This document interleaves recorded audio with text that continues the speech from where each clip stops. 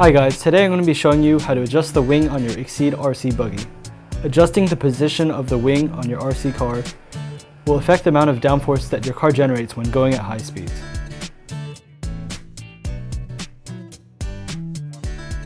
The first thing we need to do is to remove the wing itself. We're going to do this by removing these two body clips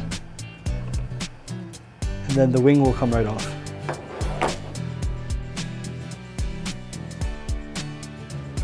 Next we need to remove these two screws that control the wing position adjustment.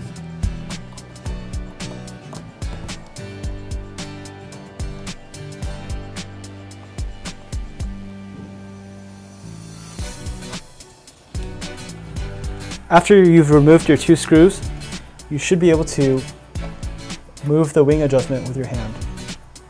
And after you select a position that you like, you can go ahead and reinsert those screws.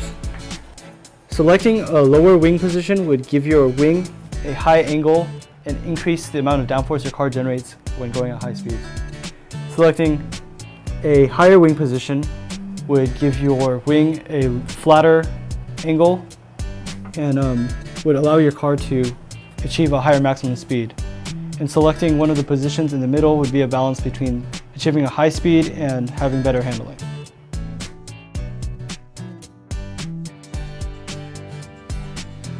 After you've put those screws in, you can go ahead and put the wing back on and secure it using the body clips.